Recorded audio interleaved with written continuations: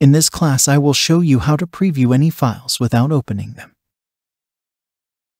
Before we start the class, please subscribe this channel and hit the bell icon.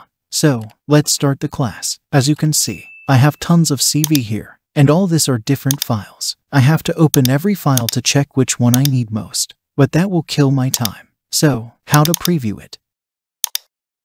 Just select your file and hold your Alt key and press P. Now you can view your files without opening. You can also expand this preview option by dragging it. You can also view your PDF files. Isn't it wonderful? Please make sure you have subscribed our channel and press the bell icon.